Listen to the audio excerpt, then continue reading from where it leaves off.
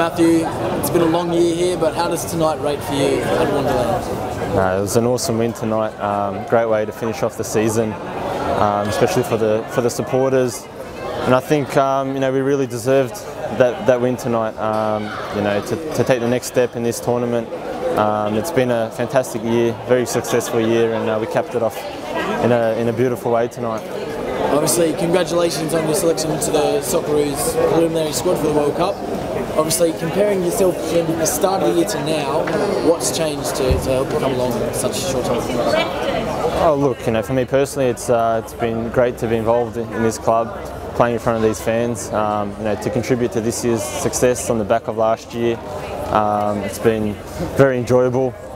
Obviously, now it's a huge honour to be involved with the national team. Um, looking forward to the journey ahead, and um, yeah, you know, hopefully. Uh, we can go over there to Brazil and uh, make Australia proud. And obviously we're saying goodbye to a few players who have played the foundation of this club, been here since its beginning. As someone who's come into the squad this year, did you feel an obligation to do them proud and to give them a proper send-off? Oh look, I mean that, that just shows what this team's made of. Um, you know, credit to all the boys, even the ones that are leaving. Um, you know, the way they finished it off in style tonight. It's uh, you know, credit to everyone. Um, and obviously those boys will be very much missed.